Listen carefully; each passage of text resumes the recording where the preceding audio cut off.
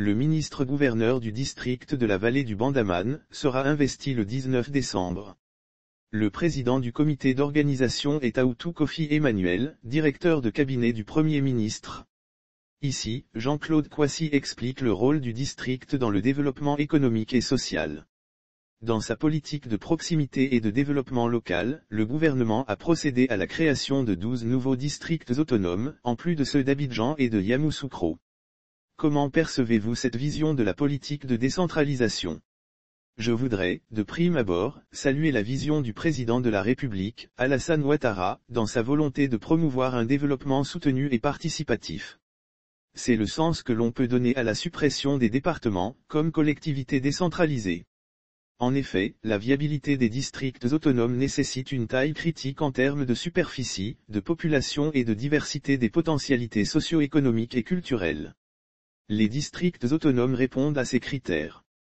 Mieux, la création de ces districts autonomes vise à renforcer l'efficacité de l'action du gouvernement, puisqu'il revient au ministre-gouverneur d'assurer, notamment, la coordination, l'évaluation, ainsi que le suivi de la bonne exécution des programmes et des projets de développement pour le bien-être des populations. C'est justement dans cette approche que le PND 2021 à 2025, aligné sur les perspectives Côte d'Ivoire 2030, prévoit au titre du pilier 5, le développement régional équilibré, la préservation de l'environnement et la lutte contre le changement climatique, comme axe prioritaire. Lire aussi, monographie succinctée, la vallée du Bandama, un district en pleine mutation ainsi, les 14 districts autonomes que compte notre pays, depuis juin 2021, préfigurent l'émergence de pôles économiques compétitifs nécessaires pour accélérer la transformation structurelle de notre économie.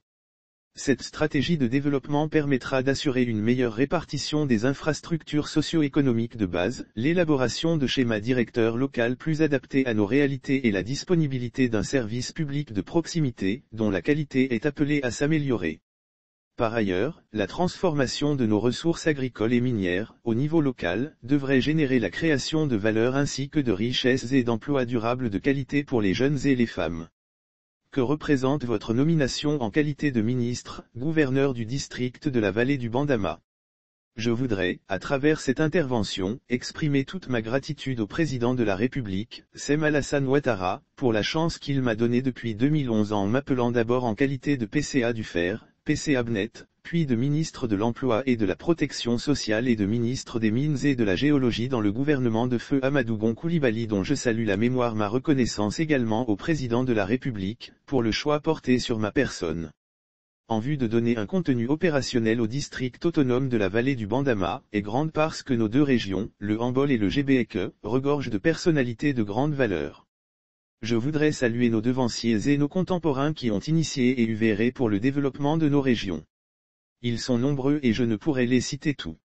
Je salue la mémoire de ceux qui nous ont quittés, notamment, le général Ouattara Thomas Daquin, ex-maire de Cassiola, feu Noël Nemin, ex-président du Conseil constitutionnel, feu Maurice Angoua Kofi ex-décigramme des douanes, feu Amani Goli, ex-décigramme des impôts et feu Odette Kwame Nguessan, ex-ministre de l'enseignement primaire.